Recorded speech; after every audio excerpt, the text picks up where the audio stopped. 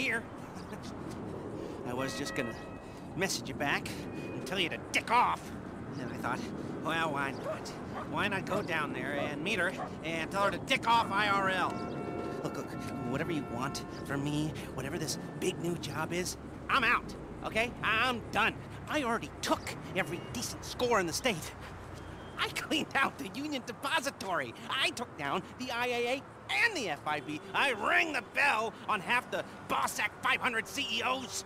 I have more money than I could ever spend. Okay, so that's it.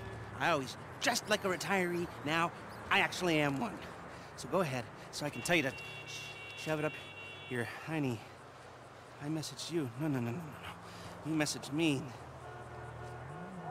Who hacked my phone? We did. In case you don't recognize her, this is Georgina Cheng, Vice President of Cheng Holdings. Investor, philanthropist, socialite. She was just voted the 89th best-dressed lady in China. Yeah, yeah. Ni hao. I did my undergrad in London, my master's in Vespucci, Mr. Crest. You can speak English. It's a pleasure to meet you. Likewise. Miss Cheng has come to Los Santos to deal with a regrettable incident. Oh, let me guess.